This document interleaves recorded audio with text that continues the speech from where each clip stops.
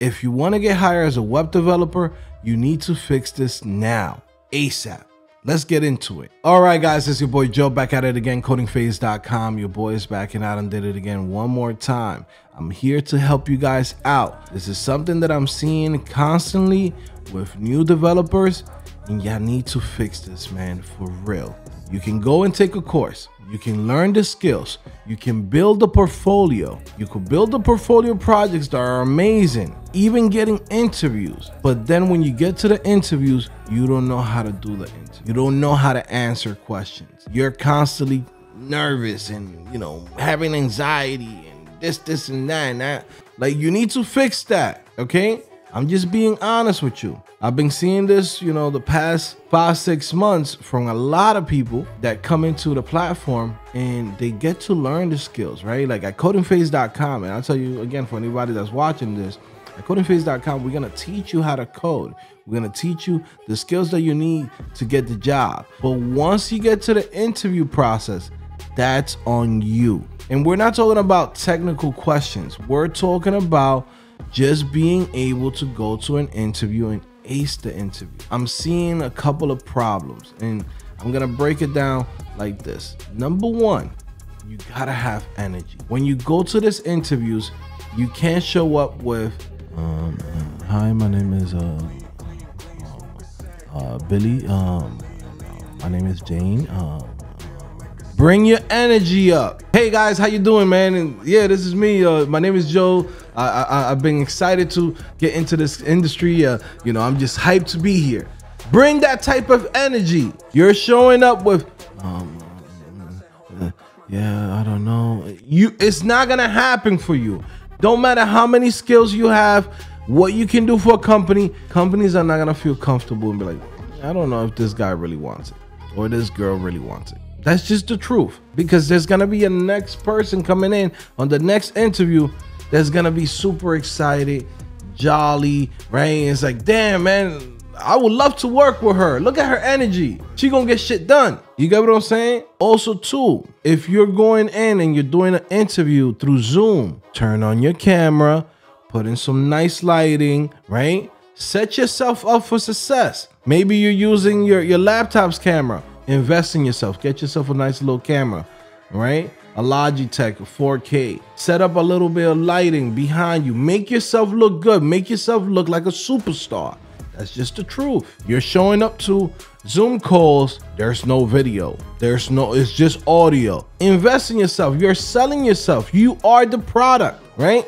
Right now, you have a business. Your business is you. This type of skills that you work hard to get, that it took you so long to get into the game, you gotta sell it to somebody. People are not just gonna buy and be like, eh, look at that. It's a nice little product. No, you gotta sell it. You gotta go in there like, hey man, I'm the best. I do what I do. I does what I does. Right? Like break it down. You know, let them know what you can do for the company. Right? Show up and, and, and make yourself an authority right? Take control of the interviews. If the interviewer it's already taking control of the whole interview and you're just answering to them whenever they want to ask you something, then you're already lost in the sauce. You have to go in there and continue the conversation, right? A lot of things that happen too is people drop the ball. Someone asks you about something that you have no idea what it is. For example, someone comes in and says, "Hey, um, you know, we actually use here Salesforce. We're looking for somebody that that knows Salesforce." And you show up and you're like, "Well, uh, I don't know Salesforce," and that's it. That's all you do, and that's your answer.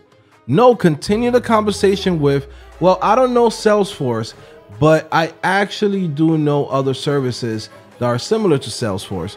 Right, like ConvertKit, Mailchimp, right? and I'm able to use those services. So I'm pretty sure that if I look at the documentation and you give me maybe a couple of hours with Salesforce, I'll be at home because all of the services do the same thing, which is send out emails. Same thing for you're a front end developer. They tell you, well, you know, we kind of use Vue.js here, we kind of use Angular here, but you've been busting your ass as a React developer, and you're like, well, you know, I'm actually a React developer. You dropped the ball. No, You are a software engineer. You are a front end developer. You can learn any type of skills that they throw at you. Once you learn one framework, it's easy for you to learn the next one right? You can explain what you can do with React, and then from there you can say, well, I can learn the same things with Vue.js. All I have to do is look at the documentation. These are all front end frameworks, and they're all doing the same thing on the web, right? But if you drop the ball and you just be like, well, it's done. You're not getting the job. Your skills, right? When you go to take a course, it doesn't matter if you come to me, you go to anybody, any platform, right? You go to a boot camp, you go to college, you go to Udemy, you go to YouTube, you go to wherever the hell you go to learn, right? If you do not know how to be in an interview and, and, how to pass the interview, like you're not going nowhere. Okay, you're just not going nowhere. It's, it's just I'm seeing it. I'm seeing a lot of people that's very qualified, and then I'll be like, man, how how are you not not hired yet? And then I start picking their brain, start looking at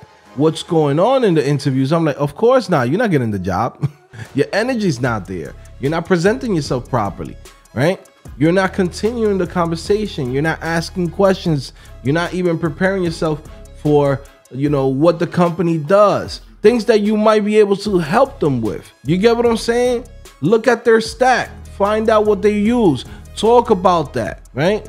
Going into the interview and and, and, and be excited to be in that process. You know, be hyped that, shoot, I'm here. I'm the one. I'm him. I'm her. Right? If you you if you don't have that energy, you ain't going nowhere. Okay. So today I want to go in and let you guys know that I'm dropping a couple of videos in here that some of you guys need below. Okay. Y'all need to work on your interviews, right? And this has nothing to do with algorithms, right? This has nothing to do with like technical questions. It really comes down to you being able to sell yourself in an interview. This is just basic stuff. This is what we call like the soft skills.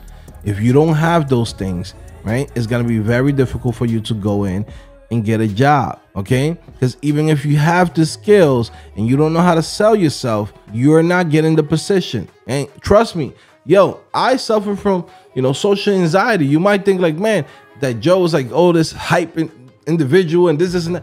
I get nervous sometimes, right? You know how many freaking conferences I've gotten invited to to go speak and do this, this, and that. Why I don't do it? I get freaking anxiety, but also I fight through that shit. I fight through that shit, right? Yes, it's hard to meet new people. It's hard to present yourself to random people that you don't know. What do they think about me? How do I look today? This, this, and that. How do I sound? I understand all those thoughts. I have the same shit. You get what I'm saying? But you have to fight it because if not, then now uh, it's basically a disability that you have. That's just the truth. If you don't know how to present yourself and you don't know how to sell yourself out here, you're not gonna get the job. And also too, when you're applying to jobs, apply to as many jobs as possible so you could get to as many interviews as possible because you just don't know what you're lacking until you get there. Going to a quote unquote like a office job is not the same shit when you apply to like FedEx. You know what I'm saying? Some of us that's coming from the bottom or had like little bullshit jobs, right, out here, y'all might not even know how to do this office game yet. You know, this little office lingo, how you gotta present yourself, how you gotta talk, right?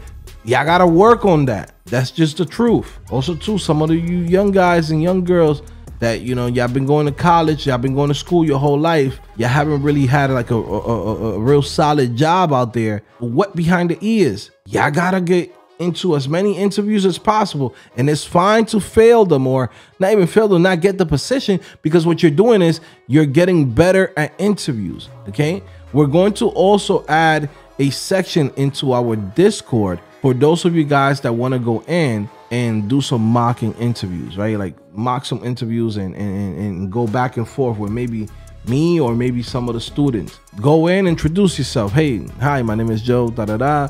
I'm, I'm, applying for this position. Um, and have somebody else, another student, work with them, collaborate, and be like, hey man, what do you think? How how did it go? Practice. You need it, right? And again, going to these interviews, it's fine to not get the job. It's a learning experience. That's one of the main reasons why it's so important for you to put in as many hours as possible into going through the courses to get the skills quickly. You don't want to spend a whole year to go in and learn all of the skills and all the stuff that you're trying to do to get the job position because you only do it once a week, right? Because then comes in the process of getting hired. Once you learn the skill, it's not a guarantee that you're gonna get hired. You have to go in and say, Well, I start at zero chances of getting hired. But then from there, I'm going into interviews, I'm improving on the skills of presenting myself, I'm improving on answering questions, I'm improving on you know, being witty, being able to explain my projects. Every time that you go to an interview, you're bringing your percentage of getting higher, higher, higher, higher, higher, higher, higher. Okay. Once you're like at 60, 70, 80% of a chance that you're going to get higher, you're good to go. That's when you see guys that they go to, you know, four or five interviews in, in one month. And three of them, he got an offer. It's not just the skills, it's the way how this person sold himself and was able to present himself as a package and what he was going to be able to do for that, that, company. Once you have that shit down packed, that's it. No one can stop you. But if you don't know how to do that yet, no one can really help you after. I'm putting a couple of videos, resources right below this this uh, video description so you guys could check out some of the people that give some really good tips on how to do interviews. And yeah, man, let's work on that. Now, guys, if you want to learn how to code, you definitely got to come to codingphase.com. We're going to teach you how to code. We're going to help you with your portfolio, give you some real good projects for your portfolio projects. We're going to make sure that we optimize that portfolio. So when you send the application in and they look at your portfolio and say, yo, this is a guy that's legit. This is a girl that's legit. We need to interview them. Okay. So again, if you're looking to learn how to code for a purpose, either to get a job, start freelancing, or to build your own business, there's no better platform than CodingPhase.com. Links in the description. Get that 20% off and let's get started.